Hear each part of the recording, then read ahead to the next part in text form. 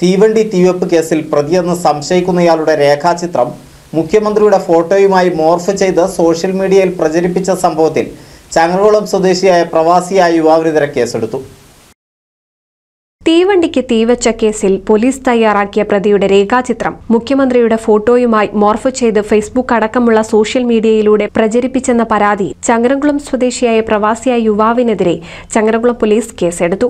മുഖ്യമന്ത്രി പിണറായി വിജയനെ അപകീർത്തിപ്പെടുത്തിയെന്ന് ആരോപിച്ച് സിപിഎം ഡിവൈഎഫ്ഐ പ്രവർത്തകർ നൽകിയ പരാതിയിലാണ് ചങ്ങരംകുളം സ്വദേശിയായ അനസിനെതിരെ കേസെടുത്തത്.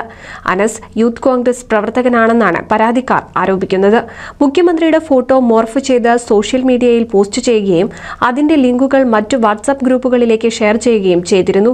സ്ക്രീൻഷോട്ടും പ്രൊഫൈൽ സ്ക്രീൻഷോട്ടും ലിങ്കും പരാതിക്കാർ സംസ്ഥാന പോലീസ് മേധാവി inspector general of police Malappuram ജില്ലാ പോലീസ് മേധാവി എന്നിവർക്ക് അയച്ചു നൽകുകയും ചെയ്തു. അനസ് ഇപ്പോൾ വിദേശത്ത് ജോലി ചെയ്യുകയാണ്. N C V news Changaramkulam.